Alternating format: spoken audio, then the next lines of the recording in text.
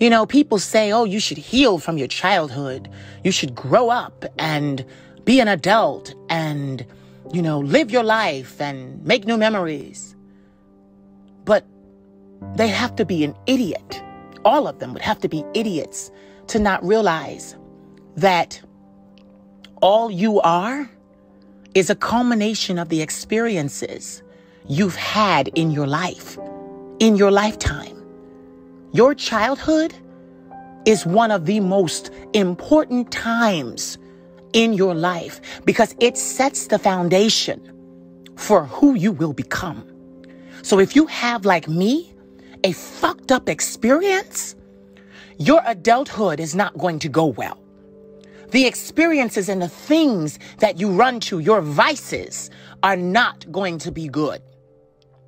And you know, I had a pretty fucked up childhood. In between the drugs with my parents, the abandonment, and, you know, young people trying to step up and help me grow, but doing more damage than good. And, you know, it just, the abuse for being gay and all that was happening, it just wasn't a good thing. And I heard someone say, actually, in a movie, and I found it to be so true that your childhood is what you spend the rest of your life trying to overcome. And that I believe. You know, as children, we don't ask to come here. We are brought here at the decision or the involuntary decision of our parents, no matter who they are. And it is really bad when you are born to parents that aren't ready for you,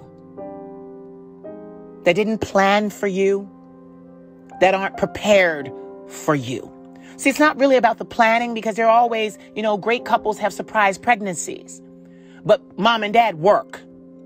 Mom and dad went to college. Mom and dad own businesses. Mom and dad are, are gainfully employed and able to handle the growth of their families. And then you have people like me. My mother had me at 17. My father was 28. That shouldn't have happened. But it happened.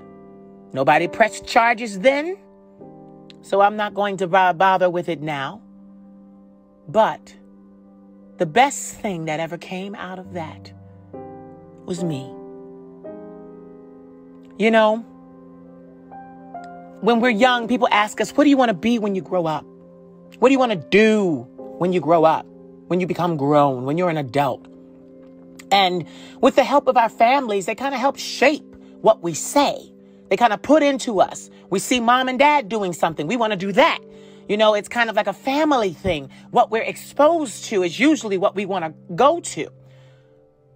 What we're groomed for, what we're prepared for. And I remember being a young child in first grade and my grandmother talking to me, and they knew I loved animals. It was my grandmother's decision. She said to me, Oh, you should be a veterinarian. She said that to me in first grade. Do you know? I went from first grade all the way up to the second year of college before a medical withdrawal because of my health and my mental illness. And I followed that dream all the way up to college. And had I not been mentally ill and come down with bipolar disorder, acute anxiety disorder, and post traumatic stress disorder because of my childhood and because of hereditary passing, because bipolar disorder and most mental illnesses are hereditary, they pass. I would have followed that dream all the way through just to make her happy because someone was giving me the time of day. Kids know when they're not wanted. Kids know when they're fucking up the plan. Children know. They know and they can feel. See, it's not about what you say to a child. Children are empathic. They go off of emotion. They can feel you. You don't have to tell them anything. You could be saying out of your mouth, hello, darling, how are you? And they can tell you're a pedophile. Come on, somebody. They can tell you a child molester. You don't have to say nothing. You can be saying all the right things, and a child knows, I don't like him. I don't like her. No one has to prompt them. They know. And good parents pay attention to that. Okay, well, you won't be going over there. You won't be visiting with him. You won't be having sleepovers over there. Our childhoods set the tone for the type of lives that we are going to live, that we are destined to live. But you know, amidst, because I'm going to talk about that, all the trauma, amidst all of that, my childhood did shape me. I had a lot of pain. I had to pause there because I had to process it. See, I have to take deep breaths sometimes or I won't be able to get it out so it can help you because it sometimes it causes panic in me or sadness. But our childhood, my childhood, made me exactly who I am today. I went through hell. Every time I turned around, there was some kind of tribulation, some kind of trial. I was not spared from trials and tribulations and pain. My grandmother was the only one who had gone to college and graduated, and her children were young. They tried to help me, but they were young. And when you're young, you make a lot of mistakes. So I can't even really blame them for bad parenting.